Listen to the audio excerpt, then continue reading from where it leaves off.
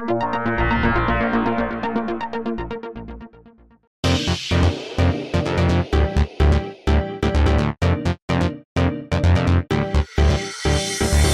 of the biggest stories at CES this year is wearable technology. The big difference we're seeing is that the wearables are actually becoming fashionable. So much so that even fashion celebrities are jumping in. A lot of people think that fashion and wearables is a trend, but I think it's really something that's going to take over the industry for sure.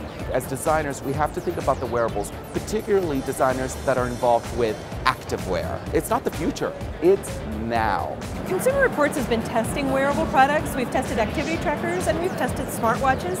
Up till now, most of these devices are a little clunky, and now they're not so much anymore. Um, we saw some really interesting partnerships between wearable companies and fashion companies. These partnerships are going to make products that people will actually want to wear, and that's why design is so important in the wearables industry. For example, Misfit, which makes activity trackers partnered with Swarovski. They are making a collection of wearable tech that's beautiful jewelry at the same time. Martian, um, which makes smartwatches, is partnering with Guess, the fashion company. We're really looking forward to getting some of these new wearables into our labs for testing. The form factors are getting smaller and more elegant. The battery life is getting longer. There's new kinds of sensors that can do even more body measurements and help you get fitter and more healthy. Also, I can wear them around the office and look fabulous.